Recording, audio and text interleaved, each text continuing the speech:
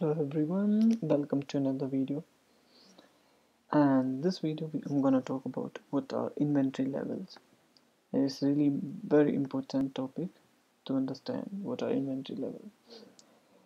So there are different kind of levels and we if, if you work in inventory you're planning to work in inventory or you doing a study related to inventory then this can help you in understanding inventory levels. So first is back order.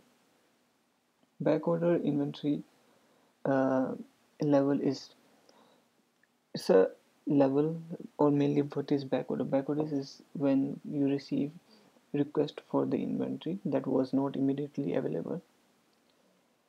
And it's mainly you receive the order but you are not able to fulfill the order at the time it's in you can say it's in it's in process or it's in expanding and if you read a customer request for inventory that was not immediately available when first ordered typically filled as soon as possible and shipped directly to the customer at supplier's expense.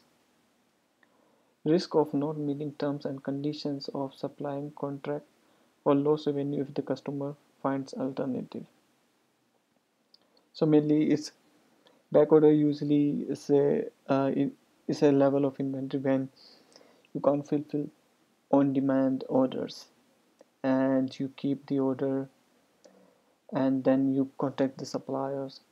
You you ask them to dispatch the goods immediately that you need to fulfill this order.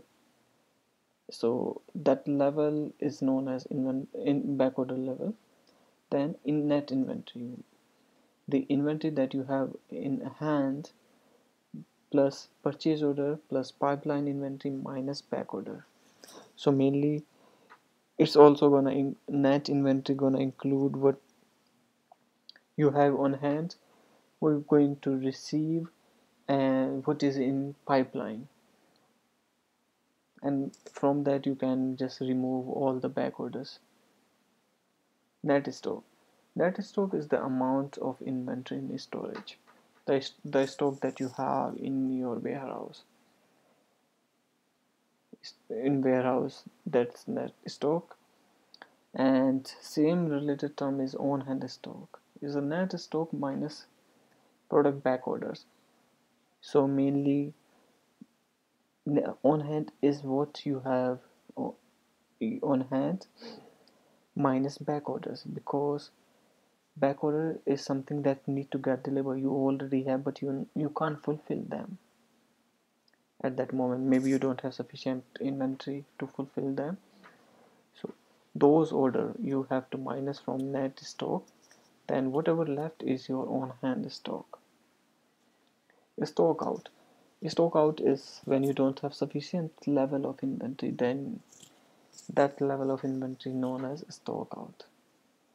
Dead stock when your inventory is no longer for any use mainly when you when it get expired or there is some change or recall sometimes recall is also and sometimes company no longer continue that product. So all those kind of inventory become dead stock I hope you understand uh, a basic of inventory level. In case you have any doubt then please let me know. And thank you